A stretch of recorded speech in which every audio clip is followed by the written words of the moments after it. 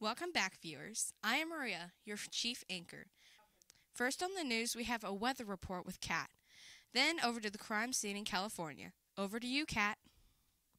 Hello and welcome, viewers. This week's weather will have highs in the 50s and 60s. The lows will have 40s. There will be a chance of rain at the beginning of the week. Just received a breaking weather report. We will have an incoming storm. It will most likely cause flooding in river areas. It will also cause a chance of power outages. The report said the storms are coming through the states of Florida, Alabama, Georgia, and Mississippi before they become regular clouds.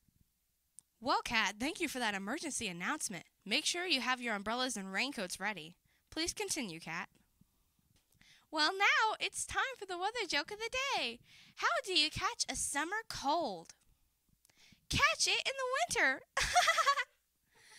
and that's all for today, viewers.